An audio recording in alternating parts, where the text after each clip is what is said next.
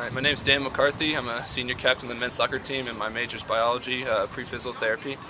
Um, we came off uh, last Tuesday. We had a pretty good win um, against Marietta. It was a much-needed win. I mean, they, they you know have, have been having a tough year, so you know we had to get that win, especially at home. We've been undefeated, still haven't lost, which is very nice. Um, now winning that game was definitely helpful for us because coming this Saturday we play a really tough team in John Carroll. Uh, I think they're only one loss in the conference, and. So getting that win will help us get into the tournament. I mean, right now we're sitting in sixth place, uh, which is the last spot. Um, we kind of, you know, kind of need some help from other teams, but if we get a win or a tie, we're, we're, we're in. But, you know, but winning will be best case scenario for us. We can potentially finish fourth, which means we play the first game at home, which is good for us since we don't lose at home.